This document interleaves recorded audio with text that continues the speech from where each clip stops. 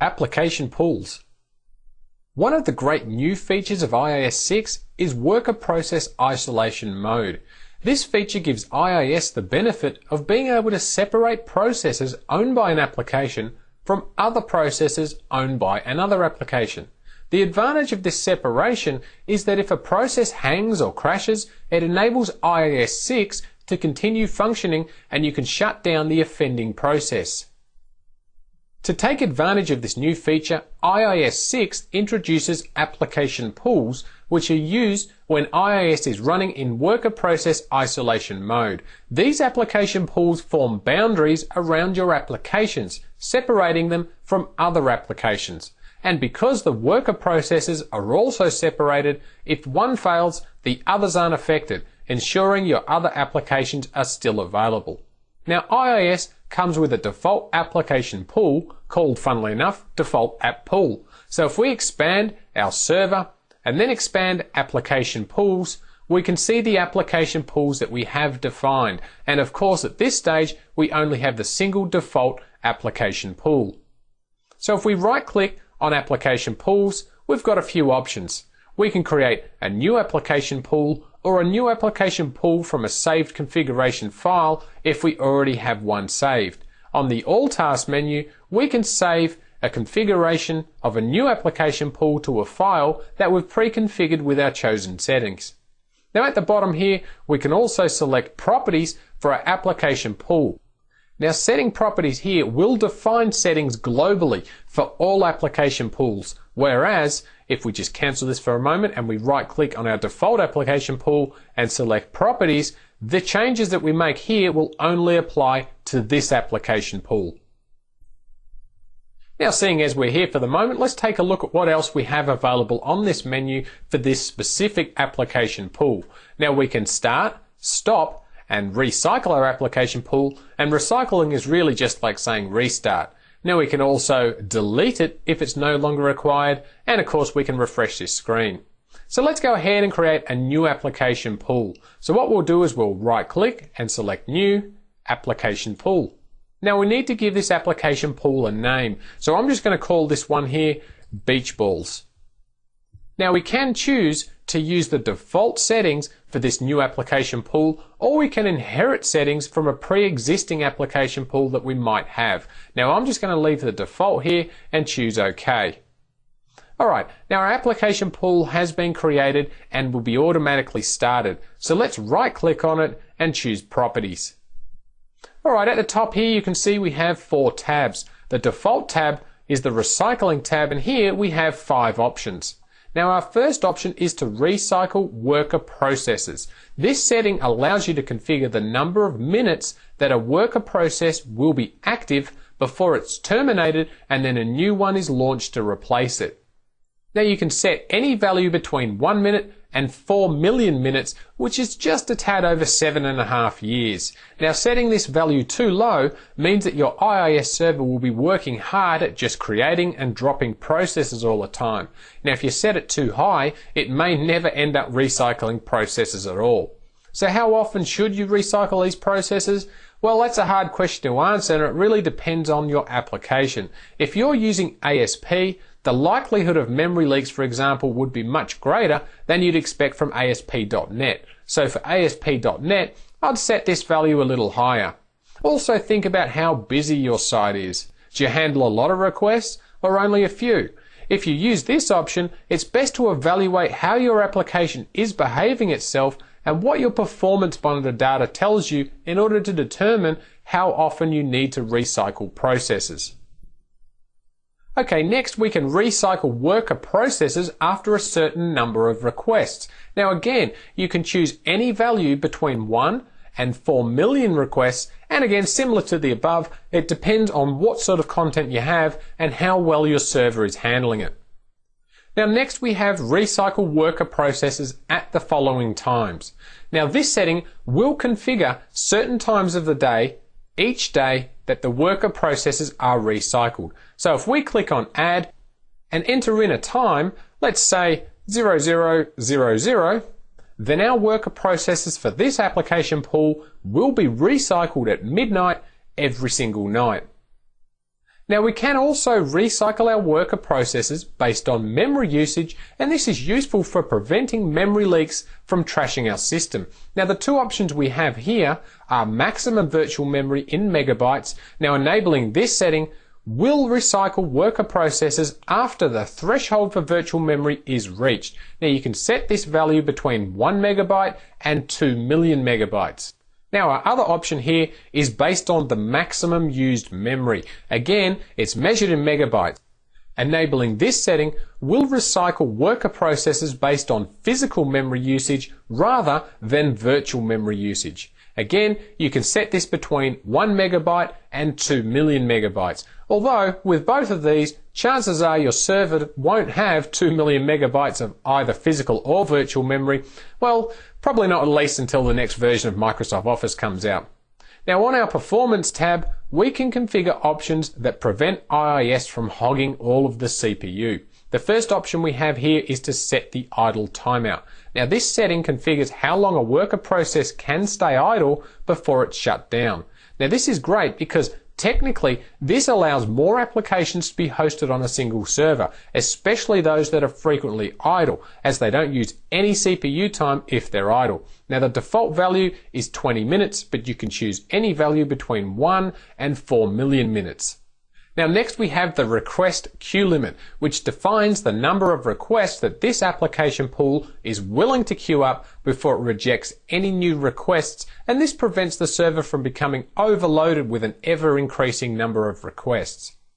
Now if the request queue limit is reached, all new requests will be met with an HTTP 503 server unavailable error. This defaults to 4,000 requests here as you can see, but you can choose a value of between 0 and 65,535 items. Now next we can elect to enable CPU monitoring. Now if we check this box, the rest of the options down here become available.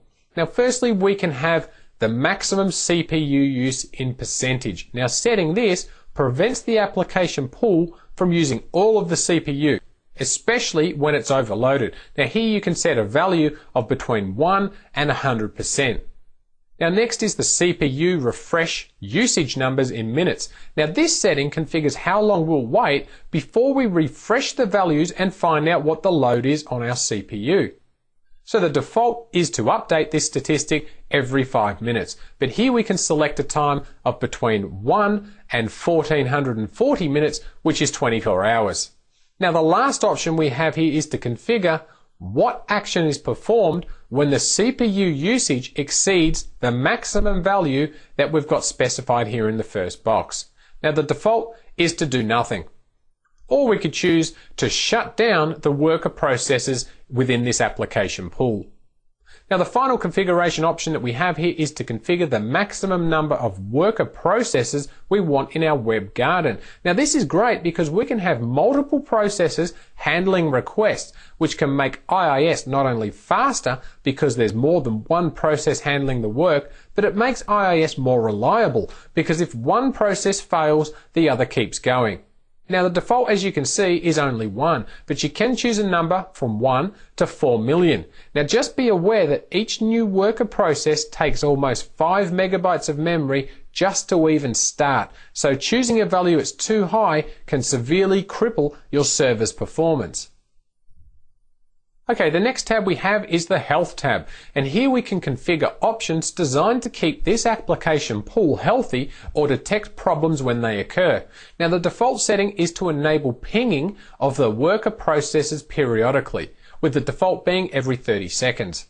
Now if a worker process fails to respond, IIS will terminate that process and then it creates a new one. Now you can enter in any value between 1 and 4 million minutes now next we have the enable rapid fail protection and it's turned on by default. And this setting protects the server by monitoring failures in the worker processes. So if a service fails a certain number of times within a certain time period, now by default it's five failures within five minutes, IIS will shut down this application pool to protect the server. Now, if IIS shuts down the application pool, then the server will respond to all new requests with an HTTP 503 service unavailable error. So what happens here if a worker process fails? IIS will write an event to the application log and simply shut down the worker process.